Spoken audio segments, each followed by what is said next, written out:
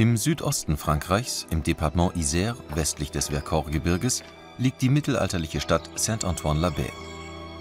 Hierher in die Kirche von La Motte-au-Bois, wie der Ort damals noch hieß, wurden 1070 nach Christus die Reliquien des heiligen Antonius gebracht, eines ägyptischen Einsiedlers, der für seine Wunderheilungen in der Wüste berühmt war. Daraufhin entwickelte sich Saint-Antoine zu einer Pilgerstätte für Kranke, die hier gepflegt wurden.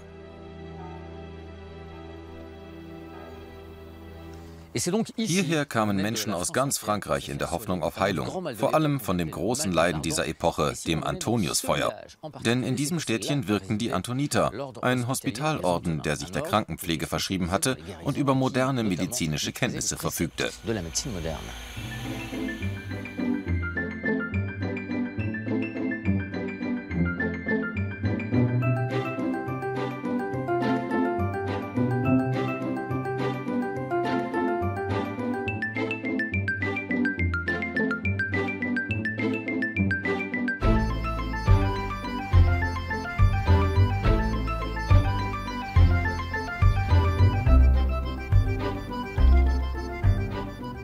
Der Torbau mit seinen bunt glasierten Ziegeln markierte die Grenze zwischen Dorf und Kloster.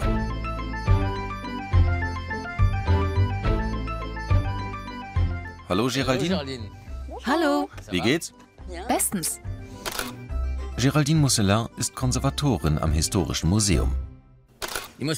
Das Praktische an diesem Ort ist, dass im Namen alles enthalten ist. Die Abtei da drüben und die Antoniter, die dieses Kulturdenkmal erschaffen haben. Um genau zu sein, kam der Name Saint-Antoine erst später auf, im 17. oder 18. Jahrhundert. Ich war mal wieder vorschnell. Ja, du hast ein paar Fakten übersprungen, denn die Geschichte des Orts beginnt im 11. Jahrhundert mit der Ankunft der Reliquien des heiligen Antonius.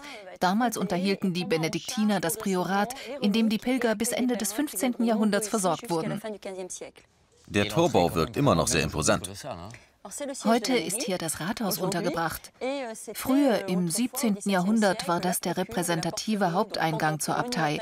Ein beeindruckendes Gebäude mit dreifacher Blendarkade. Vorher stand hier das Grand Hôpital, eines von neun Spitälern, die es im Mittelalter hier gab. Was war das für ein Orden, der hier wirkte? Ursprünglich war es eine Laienbruderschaft aus Männern und Frauen, die sich ganz in der Nähe angesiedelt hatten und die Benediktiner nach blutigen Auseinandersetzungen vertrieben. Das war 1289. Warum stritten Sie sich ausgerechnet um diesen Ort? Wegen der Reliquien. Dadurch kam Geld in die Ordenskasse. Sie lockten die Pilger an. Genau. Und die Hospitaliten kümmerten sich um die Kranken. Denn um 1140 wütete das Antoniusfeuer besonders heftig. Im 15. und 16. Jahrhundert entvölkerte die Krankheit ganze Landstriche. Der medizinische Begriff dafür ist Ergotismus. Genau, Antoniusfeuer, heiliges Feuer oder Ergotismus. Eine Krankheit, die heute Gott sei Dank ausgerottet ist. Ja, schon seit langem zum Glück. Die Krankheit kann in zwei Formen auftreten, krampfartig oder brandig. Anders als die Pest, mit der dieses Leiden lange verglichen wurde, war das Antoniusfeuer nicht ansteckend. Hervorgerufen wurde es durch einen giftigen Getreidepilz, das Mutterkorn. Er löste Krämpfe und Halluzinationen aus, die so stark waren, dass man glaubte, die Erkrankten seien vom Teufel besessen. In den 30er Jahren synthetisierte der amerikanische Wissenschaftler Albert Hoffman aus Mutterkorn die Droge LSD. Nach einem Selbstversuch schrieb er, ein Dämon war in mich gefahren und hatte von meinem Körper, meinen Sinnen und meiner Seele Besitz ergriffen. Die Dimensionen dieser Anlage sind wirklich gewaltig, fast unverhältnismäßig für so eine kleine Gemeinde. Das mag heute so erscheinen, aber schließlich war dies das Stammkloster eines mächtigen Hospitalordens, der über die Grenzen Europas hinaus tätig war. In Anbetracht seiner wichtigen Stellung waren diese Gebäude angemessen. Man muss den zeitlichen Zusammenhang sehen. Genau. Wir waren gerade im großen Kreuzgang, der im 17. Jahrhundert nach außen geschlossen war. Hier im inneren Klosterhof hatten nur Mönche Zutritt. In dem Bereich. Hier haben wir das Professorium mit den Unterrichtsräumen für die theologische und philosophische Ausbildung der Novizen und der großen Klosterbibliothek, an die sich das Refektorium anschloss. Der Orden demonstrierte seine Macht auch durch die Anordnung und Größe der Gebäude. Erstaunlich ist auch, wie gut die Anlage erhalten ist. Gibt es da ein Geheimnis? Nun, die Abteikirche wurde 1840 von Prosper Mérimée als eines der ersten Gebäude überhaupt zum Baudenkmal erklärt und daraufhin mehrfach restauriert. Außerdem haben wir das Glück, dass uns hier zwei hervorragende Steinmetze zur Verfügung stehen, die dazu beitragen, dieses Kulturerbe zu erhalten.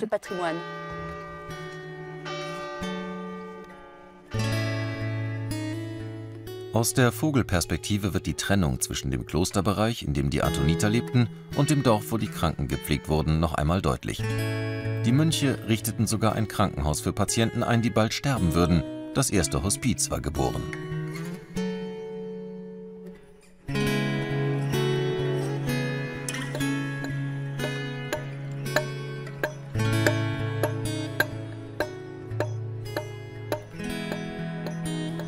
Vor der ehemaligen Apotheke des Ordens treffe ich die beiden Steinmetze, von denen Geraldine erzählt hat.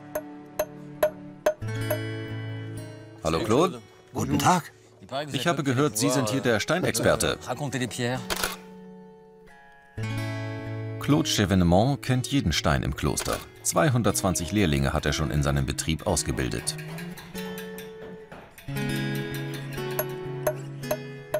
Je älter der Stein, desto steiler halte ich das Eisen.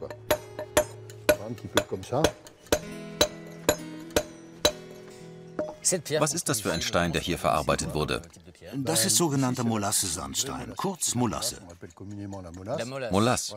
Genau. Dabei handelt es sich aber nicht etwa um ein weiches Gestein, wie der Klang des Namens vermuten lässt. Wenn man sich die Kirche ansieht, hat die Zeit den Stein zwar altern lassen, aber so sanft, wie nur Molasse altert. Wenn Sie wollen, zeige ich es Ihnen. Das ist also alles Ihr Werk? Ja, wir haben den gesamten oberen Teil restauriert. Dazu muss man wissen, dass die Qualität des Sandsteins variiert. Je älter die Bausubstanz, wie etwa im Chor, der aus dem 13. Jahrhundert stammt, desto hochwertiger und grauer ist das Material. Damals, als das Dach renoviert wurde, haben wir das Gesims am Glockenturm erneuert und die Kapitelle der Doppelarkaden dort. Und bei den beiden ersten Spitztürmen konnten wir von den Bauarbeiten am Bahnhof von Valence profitieren. Dort haben sie 800 Tonnen Molassesandstein herausgeschafft. Und das Bauunternehmen hier hat alles aufgekauft, sodass wir mit Molassesandstein arbeiten konnten, was nicht oft vorkommt. Meistens müssen wir auf anderen Sandsteinen ausweichen. An einer 800 Jahre alten Kirche zu arbeiten, ist doch bestimmt auch für Sie was Besonderes. Auf jeden Fall. Das erfüllt einen mit einer Art Ehrfurcht. Um ein solches Bauwerk zu restaurieren, braucht man eine gewisse Spiritualität.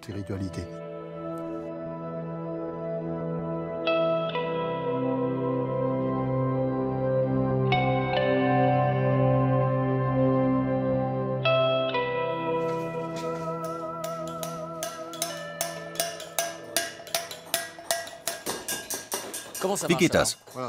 Ich setze das Eisen an und treibe es mit dem Knüpfel. So. Dabei müssen zwei verschiedene Töne zu hören sein. So, das ist wie Musik. Wie halte ich das Ding? Nehmen Sie es mal in die Hand. Mit dem kleinen Finger abstützen. Etwas weiter unten.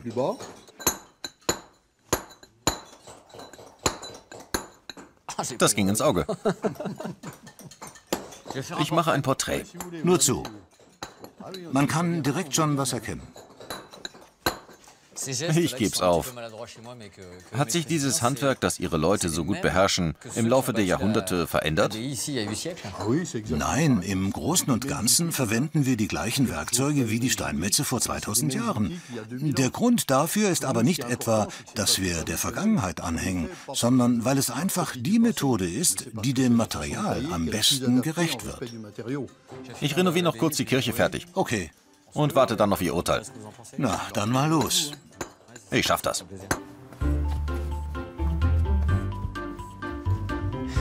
Da bin ich wieder.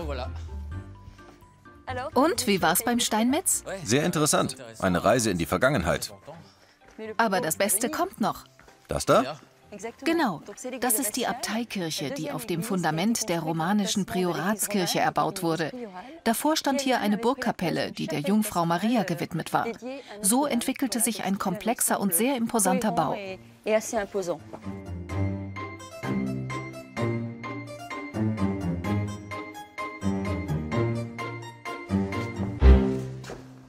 Ziemlich frisch hier.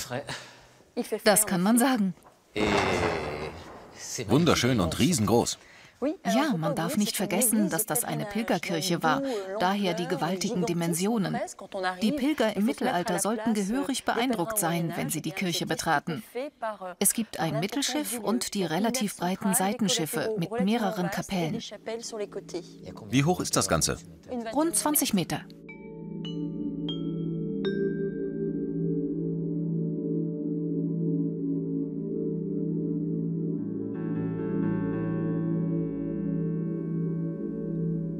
Auch von außen erkennt man den gewaltigen Grundriss. Ja, die Kirche hat eine relativ gedrungene Form, ganz im Gegensatz zur Kathedrale von Chartres. Dieser Baustil, der Burgunderstil, stammt aus Auxerre und zeichnet sich unter anderem durch übereinanderliegende Säulengalerien aus, mit einem sogenannten Blendtriforium. Dort oben, sehen Sie? Licht war also nicht so wichtig. Darüber liegt eine weitere Galerie, ein Wandelgang. Und es soll auch einen Schatz geben. Ja, es gibt hier einen Schatz, genauer gesagt einen Reliquienschatz. Was heißt das? Das heißt Reliquienbüsten und Schreine. Die Sammlung wurde bereits im Mittelalter begonnen.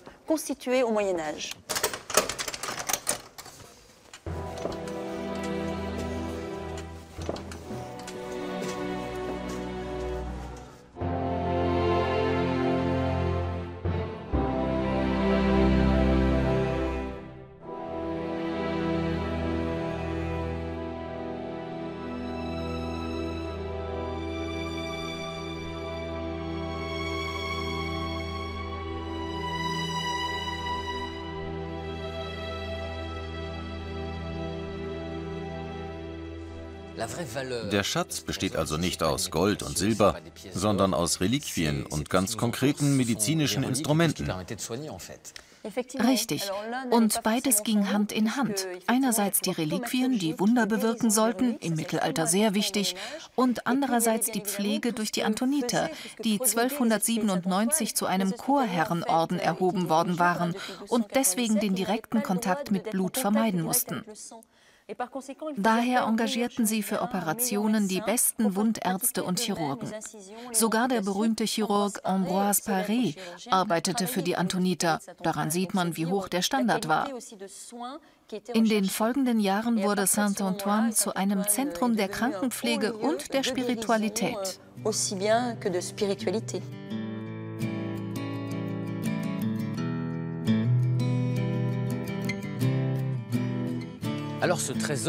Der wahre Schatz der Antoniter war also ihr medizinisches Wissen, das sich über die Klostermauern hinaus bis ins Dorf verbreitete. Ich bin mit Celine verabredet. Sie ist Mitglied des Vereins Freunde der Antoniter. Hallo Celine. Hallo Emanuel. Wie geht's? Gut. Gar nicht so einfach auf diesen Steinen zu gehen. Ja. So uneben. Aber sie sind typisch für die Stadt. Ja, alle sogenannten Goulets hier sind mit diesen Kieseln gepflastert. Sogar einige Häuser wurden damit gebaut. Ganz einfach, weil man sie hier überall fand. Auf den Äckern, im Fluss, überall. Es war das naheliegende Baumaterial und hervorragend geeignet, um diese Gassen zu befestigen, damit das Regenwasser nicht ungebremst in den unteren Teil der Ortschaft schoss. Sie hatten also auch eine ganz bestimmte Aufgabe. Und sehen schön aus. Genau. Allerdings geht man darauf wie auf Eiern. Stimmt. Du sprichst von Goulets. Was verbirgt sich hinter dieser Bezeichnung? Ein Goulet ist ein schmaler Durchgang. Ein Durchgang? Richtig. Also eine Passage, von denen es hier insgesamt sechs Stück gibt, die den oberen mit dem unteren Teil des Dorfes verbinden. Für die Menschen früher eine praktische Abkürzung.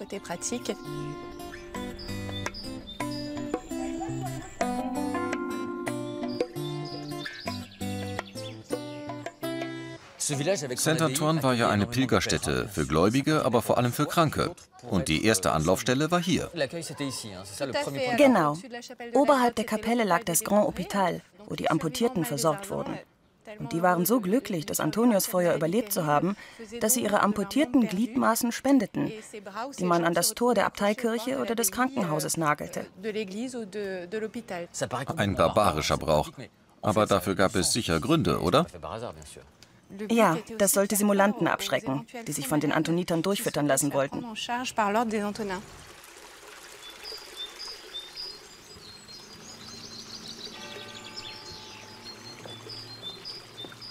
Wir sind jetzt ein wenig unterhalb des Klosters, wo die ältesten Häuser der Stadt stehen.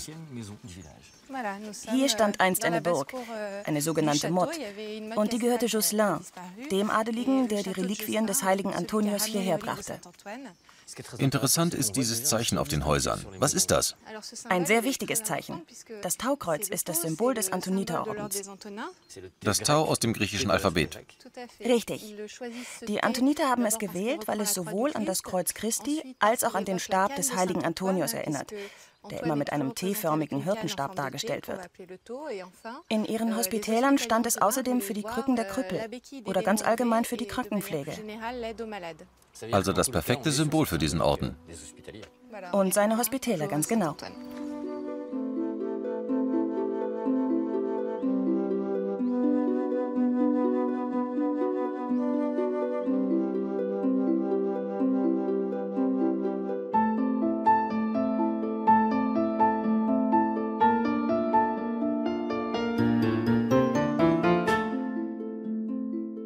In Saint-Antoine begegnen einem die Antoniter auf Schritt und Tritt. Das war ihr Ort und die Gebäude atmen bis heute ihren Geist.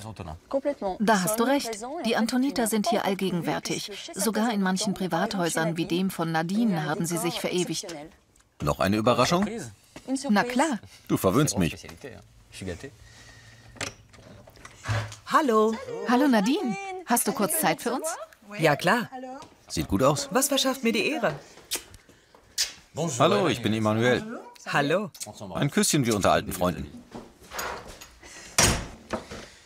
Und sogar hier haben die Antoniter ihre Spuren hinterlassen? Ich war selbst überrascht. Als ich mir das Haus genauer anschaute, habe ich es entdeckt. Ein Geheimnis? Oh ja. Kommt mit. Wir gehen hoch. Interessante Treppe. Ja, nicht? Noch original. Da sind wir. Euh, Als ich den Raum zum ersten Mal betrat, fiel mein Blick sofort auf den Balken dort oben, mit den Farben in Rottönen. Ich wurde neugierig auf die Geschichte dieses Hauses. Während der Renovierung fing ich ganz vorsichtig an, den Putz von den Wänden zu kratzen, um zu sehen, was sich darunter verbarg. Und schon bald kamen diese Wappen zum Vorschein. Was erzählen diese Fresken? Welche Geschichte? Wir befinden uns hier in einem quadratischen Turm aus dem 13. Jahrhundert mit einer Ausmalung aus dem 14. Jahrhundert, die, wie man weiß, ein wichtiges Ereignis in der Geschichte dieser Gegend und des Klosters Saint-Antoine behandelt. Und zwar? Höchstwahrscheinlich die Unterzeichnung eines Abkommens. Die Jahreszahl 1349 ist bekannt. Vermutlich zeigt es die Abtretung des Dauphiné an das französische Königreich durch Humbert II., an der auch der Abt von Saint-Antoine, Pierre de Lobé, beteiligt war. Hier haben wir nebeneinander die Wappen des Dauphin von Viennois vor 1349, des Hauses Savoie, des Dauphin der Auvergne und dort drüben, sehr viel kleiner, das der Fürsten von Orange. Am Balkenwerk darüber sehen wir weitere Wappen wie das des Erzbischofs von Wien und ein charakteristisches Balken Trompe-l'œil aus dem 14. Jahrhundert. Du wohnst in einem Museum? Irgendwie schon. Das ist mein kleines Privatmuseum. Nicht schlecht. Auch die Ländereien außerhalb der Stadt gehörten den Antonitern. Die Mönche waren nicht nur Wegbereiter der modernen Chirurgie, Sie setzten auch damals schon auf gesunde Ernährung und verordneten pflanzliche Kost. Das Dauphiné ist berühmt für seine Walnüsse. Einer der Nussbauern von Saint-Antoine ist Nicolas Idelon.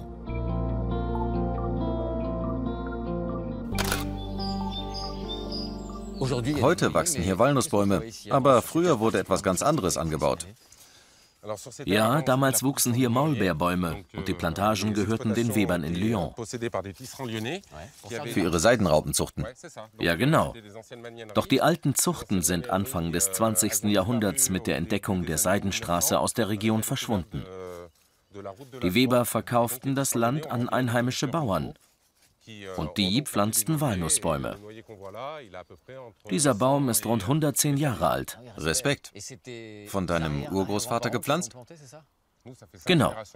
Ich betreibe diese Plantage in der fünften Generation. Félicien hat ihn vermutlich gepflanzt. Dann kamen Clovis, Bruno, Marc und jetzt bin ich da, Nicolas. Walnussbäume können 80, 90 Jahre lang Früchte tragen. Das ist enorm. Ja, aber dafür muss man auf die erste Ernte auch 12 bis 15 Jahre warten. Und so ein Baum muss regelmäßig beschnitten werden, bis er seine endgültige Form hat. Dazu kappen wir die inneren Triebe, damit der Wind schön durch die Krone fahren kann und für eine gute Bestäubung sorgt. Der muss auch weg. Da kommt ja ganz schön was runter. Ja, aber der sieht schon ganz gut aus. Wir lassen ihn jetzt in Ruhe. Er soll sich erst mal erholen auf diesem Boden, der sehr reich ist an Spurenelementen. Walnüsse sollen ja ausgesprochen gesund sein, weil sie so viel ungesättigte Fettsäuren enthalten. Stimmt das? Ja, Walnüsse gelten als Nutrazeutikum, also als landwirtschaftliches Erzeugnis mit gesundheitsfördernder Wirkung. Eine jüngste Studie hat ergeben, dass Walnussöl und Walnüsse zu den Lebensmitteln mit dem höchsten Anteil an Omega-3-Fettsäuren zählen. Trotzdem hat man die Nüsse früher gar nicht gegessen. Nein, das stimmt. Früher verwendeten die Menschen die Nüsse zum Heizen, als eine Art Biobrennstoff. Heute presst man hauptsächlich das Öl, das ist viel einträglicher. Ich bin mit Walnussöl aufgewachsen. Gibt es eigentlich auch Walnussparfum? Walnussparfum? Nicht, dass ich wüsste, aber das bringt mich auf eine Idee. Ich sollte eine Walnussseife auf den Markt bringen, denn das Öl der Walnuss ist eine Wohltat für Körper und Seele. Man wird davon gesund und munter, so wie du. Den Versuch ist es wert.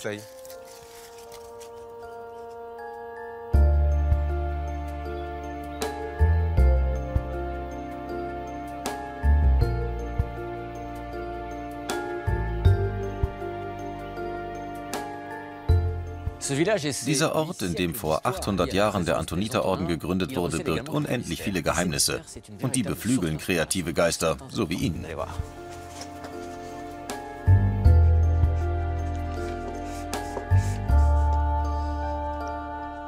André Huot kam vor 20 Jahren nach Saint-Antoine und ist geblieben. Der Ort ist für den Zeichner eine Quelle der Inspiration.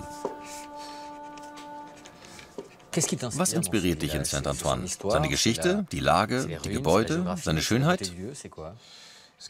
Es ist das Zusammenspiel aus allem. Hier scheint die Zeit stehen geblieben zu sein. Es gibt keine moderne Architektur. Keine Betonbauten, keine Wohnblöcke, keine Hochhäuser. Noch nicht mal Stromkabel. Auch keine Stromkabel. Saint-Antoine ist ein mythischer kleiner Ort zum Träumen. Wenn man hier im Winter durch die Straßen läuft, fühlt man sich wie im Mittelalter. Und in deinen Comics erzählst du die Geschichte dieses Ortes. Sie spielen wirklich hier, oder? Ja, ja. Wenn du willst, kann ich dir ein paar Bilder zeigen. Das hier zum Beispiel ist der Blick von unten auf die riesige Abteikirche, die man sonst in der Größe nur in Städten mit 5.000, 6.000 Einwohnern hat. Wir sind gerade mal 450. Oder das hier. Das ist die große Treppe, die zum Kloster hinaufführt. Ich kenne keinen anderen Ort, an dem es so viel zu entdecken gibt. Was man auf den ersten Blick sieht, ist ja nur die Spitze des Eisbergs.